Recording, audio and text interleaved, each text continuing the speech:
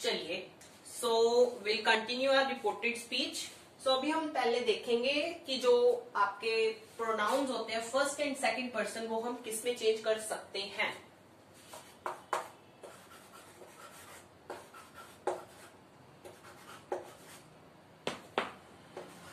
हाँ जी will change into he she my will change to his her me will change to him her mine will change to his hers ठीक है? We will change to they our will change to their us will change to them ours will change to theirs you will change to he she they or him her दम अभी यहाँ पे जब आपकी sentence की starting होती है तो जब आपने चेंज करना है तो ही शी दे लगेगा। जब आपकी एंड होता है तो हिम हर डैम लगेगा।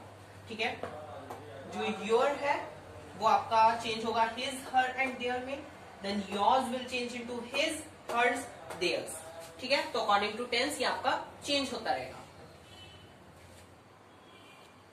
अभी हम कुछ वर्ड्स करेंगे जो सेंटेंस में, जो डायरेक्ट स्पीच में आए, उसको हम चेंज इनडायरेक्ट में करेंगे, ठीक है?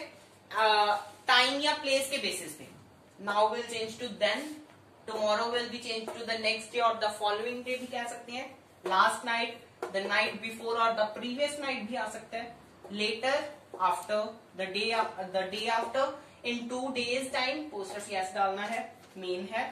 That day tonight that night yesterday will change to the previous day or the day before thus will change to so ago before just then at present at that time next week the following week ठीक है so so, ये आपका होता है place या time के basis पे अगर ये डायरेक्ट uh, को इनडायरेक्ट में करना है so you can take screenshot I will just speak up to five seconds five four three two one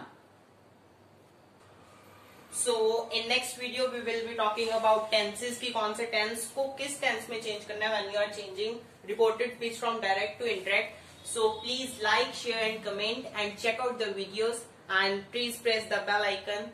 Thank you.